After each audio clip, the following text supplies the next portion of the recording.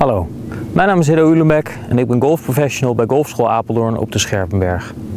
We staan hier vandaag op de 12e hol en ik ga jullie uitleggen in, in, de maand, in de tip van de maand voor de maand juli hoe je nou uit dit hoge gras kan komen. Mijn bal ligt hier in het hoge gras. Dat is een van de voordelen van de van de zomer. Dat het gras goed groeit. De baan ligt in topconditie bij. Alleen er zijn genoeg holes en genoeg plekken op de holes waar het gras wel wat langer is dan dat het in de rest van het jaar is.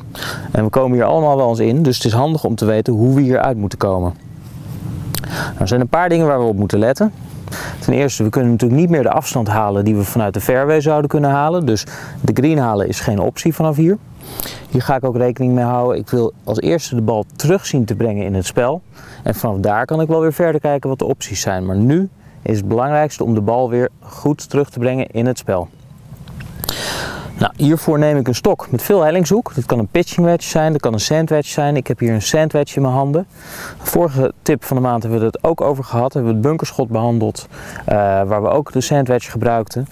Wat we daar deden was het clubblad ook een fractie openzetten. Nou, dat gaan we hier ook weer doen. Want de neiging die de club zal hebben met dit hoge gras, is dat het clubblad dicht slaat zodra de steel in contact komt met het gras. Dus het gras slaat eigenlijk om de steel heen, waardoor het clubblad sluit en de bal over het algemeen naar links wil. Dus om dit te compenseren, draaien we de stok alvast iets open. Dan pas grippen we hem net als bij het bunkerschot. Nou, en dan zullen we dat wat meer voorkomen. De hellingshoek zorgt ervoor dat de bal zo snel mogelijk omhoog gaat en ook minder last heeft van het lange gras. En als laatste aanpassing brengen we de balpositie wat verder naar achteren in de voetenstand. Dus die komt wat meer richting de achterste voet te liggen, waardoor de stok wat steiler omhoog kan gaan, waardoor we ook weer minder last hebben van het gras achter de bal. Van hier houden we de stok stevig vast, maken we een, mooie swing naar de bal uh, je krijgt natuurlijk best wel wat weerstand van het gras, dus pas op voor je polsen. Uh, en probeer dit een paar keer te oefenen voordat je de situatie in de baan zelf tegenkomt. En dan moet dit goed gaan. Dus we gaan de bal terugspelen naar de fairway.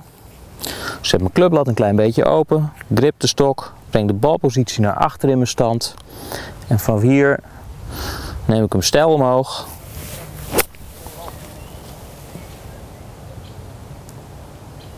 En de bal haalt net de fairway. Het is een moeilijke ligging, maar in ieder geval kan ik weer door.